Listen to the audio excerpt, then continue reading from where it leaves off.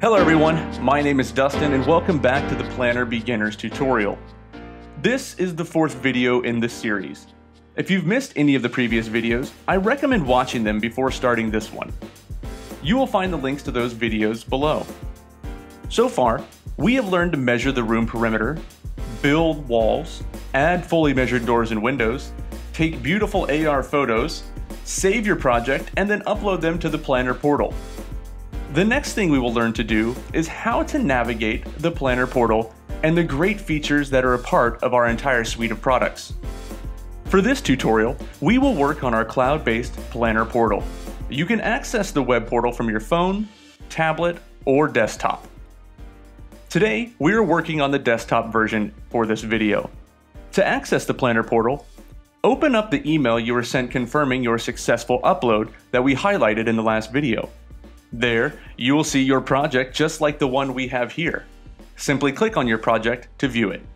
Now that you're in the project, you can see all the information captured with PLNAR. The top left of the page gives you all the measurement totals of your space, including the perimeter, area, doors, windows, and total number of rooms. And on the right, the location is based on Google Maps through Apple's location services that we used in the last tutorial. The next section is our 3D model that you created using PLNAR. If you had multiple rooms, like this project, each room has its own individual model. In the model viewer, you can move the image around to look at all the measurements and the space. Simply click and drag. By clicking the blue box in the top right corner, you can expand the viewer to full screen.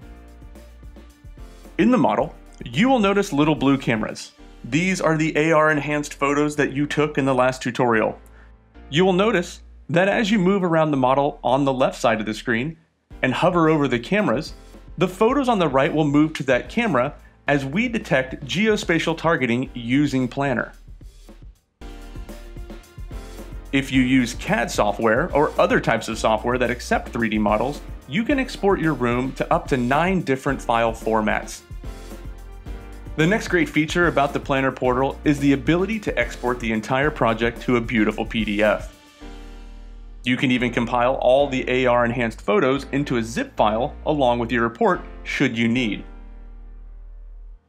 Let's take a look at the PDF. You can see that our new PDF has all the features of the PLNAR portal now in print form. This is a project overview. Complete room measurement totals, all of the 2D models with each measurement you took, and the AR enhanced photos are there for you to view as well within the PDF. You have now completed the PLNAR Beginners tutorial series. By viewing all the videos in this series, you should feel comfortable with the basics of using PLNAR to build real-time 3D models of your space. Thank you for watching and stay tuned for even more PLNAR tips and tricks and to find out more information on PLNAR, you can visit www.plnar.co or click the link in the information.